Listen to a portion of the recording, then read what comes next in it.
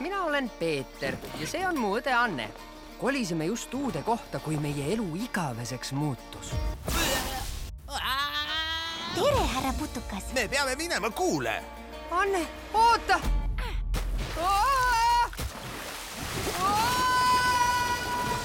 kus mu õde on?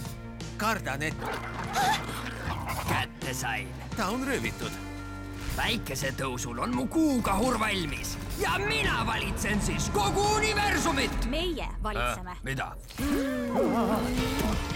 ma ei jäta oma õde siia üksinda. kui päike tõuseb, ei saa keegi enam tagasi.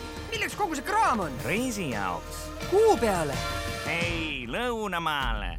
no muidugi kuule kuu peale. valmistu seikluseks. sellised reisid on tõelistele kangelastele, suurtele, vapratele ja tugevatele. mis viib sind ah,. seal nad on, pai poiss Satikas ja Inetu. kuule ja tagasi.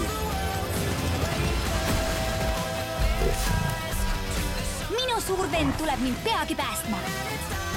ta tõesti tuleb sulle järele? muidugi, ta on minu vend.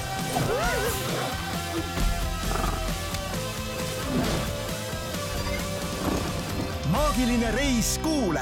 üks väike samm põrnikale ja tohutu hüpe putukatele. varsti kinodes